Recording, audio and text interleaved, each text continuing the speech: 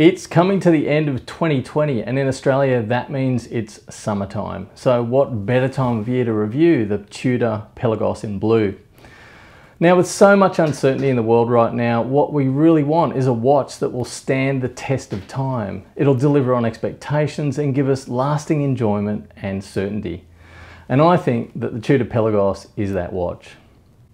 Hi, I'm Mike from Men and Their Watches. In part one of the Tudor Pelagos review, I'm going to cover what the Pelagos is like on the wrist, how does it wear, how does the titanium wear, and you know, does it scratch more than stainless steel?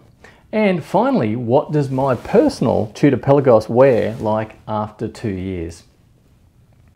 The Pelagos is an impressive watch. I've worn it snorkeling on shipwrecks in the ocean. I've worn it on hikes. I've worn it swimming in the pool in my backyard. And I've even worn it on safari in Africa. Now this watch has traveled the world with me and made some great memories. I'll show you how it stood up to all of that at the end of the video, but first, how does it wear on the wrist? The Pelagos comes with two straps, the titanium bracelet and the rubber dive strap. Now, I'm not personally a fan of, or a big fan at least, of rubber straps because I find they generally don't conform to my wrist as well as steel bracelets, but the one that comes with the Pelagos is actually pretty good. It's stylish and it's reasonably comfortable. It has a titanium insert on the end of each side of the strap that fits really nicely up against the body of the watch and it looks really cool as well as works well. So it's kind of like a custom fitted strap. So if you do like rubber straps, I think you'd be very, very happy with the, the quality of the rubber strap that is on the Pelagos. Now, the only problem, well, at least for me, is that the titanium strap is so good. It's light on the wrist, it's super comfortable, it's adjustable without, you know, any tools when it's a hot or a cold day and you just want to expand it or contract it a little bit. And it's also got the extension to go over a wetsuit if you use it for diving or snorkeling. Now, I think that the watch on the titanium strap would make the most particular person happy. In fact, I call it the Goldilocks strap. It's not too light, it's not too heavy, and you guessed it, it's just right. Some tool watches feel too light. They look really big, but they feel too light. So, you know, they end up feeling kind of cheap. And some tool watches in stainless steel feel too heavy. Now the Pelagos is just right. And to give you a sense of that, let's compare it to the Rolex Submariner. The Sub is a perfectly balanced watch. It feels substantial, but it never feels heavy or awkward. And if we compare the weight of the sub to the Tudor Pelagos, you can see on the scales that the sub weighs in at around about 153 grams. And we put the Pelagos on the scale and it weighs in at around 143 grams. So there's about a 10 gram difference. And the thing that they share in common is that they both are beautifully well balanced on the wrist. They're very comfortable and they feel just right on your wrist. Now the Pelagos is thicker, but that seems to be visually just about right to me because it is a tool watch. It's a serious dive watch, but it's got a very modern movement inside and you know a bunch of other stuff like a helium uh, gas escape valve. And so that thickness is warranted. Now let's talk about the titanium. How does it wear? Does it scratch more than stainless? I've seen a lot of people on forums saying, oh, you know, it's supposed to be tougher than stainless and it's really strong and it's really scratch resistant. And other people are saying, well, no, no, no, it scratches much easier than stainless steel. So let's look at what it really is like with my experience of owning it for a couple of years. Now, I look after my watches, but I have not babied this watch. It's been used as a real tool watch and not just a desk diver. I've worn it to the beach, I've worn it in the ocean, I've worn it on the reef. It's been on, you know, various, almost a week on safari in the African bush. I've slept with it on international plane flights, banging it on seat belts and armrests. I've dragged it through airports, hotels. I've worn it many times in the swimming pool, you know, playing games, catching balls, jumping around, banging on the side of the pool. And so let's take a closer look at my watch and how it's worn over that time.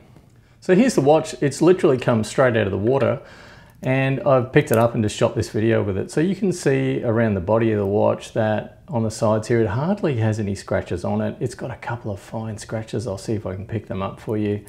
Uh, the same on the strap here, if I can just try and pick up that scratch there on that link, it has a, a tiny scratch. This is not bad considering the amount of wear this watch has had in real use. You know, it hasn't been a desk diver, as I said before. Moving around to the clasp, this is made of steel. So this guy um, did actually suffer a pretty bad scratch. I can try and pick that up on the camera here. It's a deep scratch just here. And you'll see that um, you know, it's it's fairly deep, but it's it's not terrible. You know, from a distance, actually, you can you know you can pick it up, but not really. The side of the clasp is virtually perfect and spotless. Now, let me see if I can pick up the inside of the watch. Here. You can see the back of the watch. It's got um, you know some very minor. Let me just open that up. Some very minor scratches on the back of the watch, and that's just from it resting on its own strap or bracelet. So that's pretty normal for any watch. Um, as I said, this is steel and this hit a very large, thick sandstone pool edging tile. So the edge of my pool as I, I banged my arm on it playing a game, trying to catch a ball or something in the pool. Um, but otherwise, it's it's maintained, you know, pretty much its brand new kind of look. As you can see here, it's got a couple of tiny little scratches. It's been around the world, as I said, um, and it's seen a lot of action, this watch, so it's in great shape. Um, now, the other thing about this is the ceramic bezel, the non-reflective crystal, and the satin finish on the strap all go really well together. Um, it's got a feel about it that's kind of silky smooth. It's not kind of sticky or tacky like you get from a highly polished surface. And even the ceramic feels like, like silk almost. It's just so smooth and soft feeling and yet the watch is actually really tough and hard wearing so it, has got a nice feel to it on the wrist let me just put it on really quickly for you and show you uh, great clasp you know one-handed operation just like this here we go it's got a really nice taper to it as you can see it tapers down very nicely it sits pretty flat on the wrist as you can see there and you know I have seven inch wrists so it's just just about a, a, little teeny bit over seven inches, which is fairly average. You can see how that's sitting. The perspective of the camera always makes things look different, but it doesn't look big and it doesn't really look small. It looks, uh, well, back to that saying, just right. So there it is, there it is on the wrist. That's how it's worn after two years. So there it is. And after owning the Pelagos for a couple of years, it looks great and, you know, it's got some great stories and some, a couple of scars that we've collected together on our journey. So the Pelagos is a watch you can depend on in uncertain times. And I think it's just a great watch that wears really well on the wrist and it wears really well in the field. So I hope that's given you an idea of how the Pelagos wears. Check out my other videos on the Pelagos for more information about that blue color and also how I came to choose the Pelagos and what I compared it to when I was making that decision. I'm Mike from Men and Their Watches. Check back for more videos, subscribe if you like the video and you want to see more, and I will see you in the next video. Thanks.